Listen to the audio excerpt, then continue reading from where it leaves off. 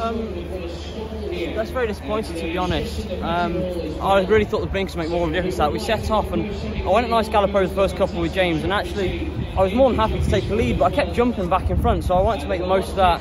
I gave him a squeeze at one of these, brought down on me, then he jumped the next one, lovely. Um, and then after that, we've just he's just been a bit careful from then on, to be honest. Um, and then we, we, have slowly ended up back wheeling through the race, backpedaling through the race and backpedaling a bit more. Um, personally, I'd probably now wait for a bit of softer ground and just try and slow everything down a little bit because although we've gone a right gallop, James has only just been beaten anyway. You know, James has been beaten two lengths by the winner. Um, so we obviously didn't go way too quick. In fact, we've probably gone the right speed for James's horse because it made a bad mistake at the last and would have been a different result then for him. Um, the only thing I can say is try and wait for a bit slower ground with him again and just hopefully it'll slow the first mile of the race down. We can get in the rhythm we got into for the first mile of the race today because that was a that's the best feel he's given me over a fence completely to be honest you know. Even better than when he won around Sedgefield with me.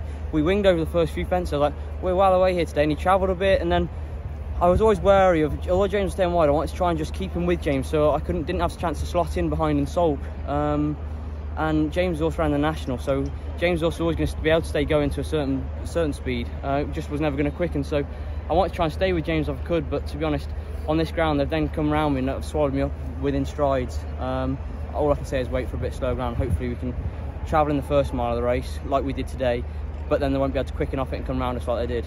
Um, that's that's the route I'd go with them. Did you keep the blinkers on? yeah definitely. It, it, you look at his jumping in the first well for the whole race really but especially the first mile it was such an improvement from Haydock the last day. And this is on quicker ground where it was going to be harder for him to jump um, jump as well as he did today anyway.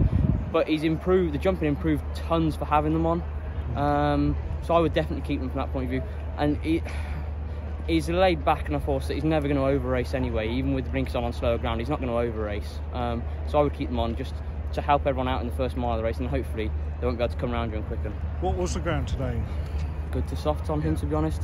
Like it's I know he's won on good ground over hurdles at Worcester in the summer but they've just had a chance to come around us and quicken away and it's not what we want. It's it's not the bit he enjoys at this stage of his life. Um, yeah. I, would be waiting for a bit slower ground and I stick to this trip as well and try him that way I bobbed him on because hopefully we'll get dropped a couple more with a bit of luck anyway Great. and we'll Thanks, be able the thing is we'll, if we get dropped from more, we'll be able to drop them in grade as well. And then all of a sudden, we're dropping them in grade, we're finding slower ground, and we'll then be the best horse in a bad race rather than not. He's not the worst horse, but in theory, the worst horse in a good race nearly because we're lower at the handicap rather than the horses at the top of the handicap. They're the best horses in the race on racing, and hopefully we can be the best horse in a bad race.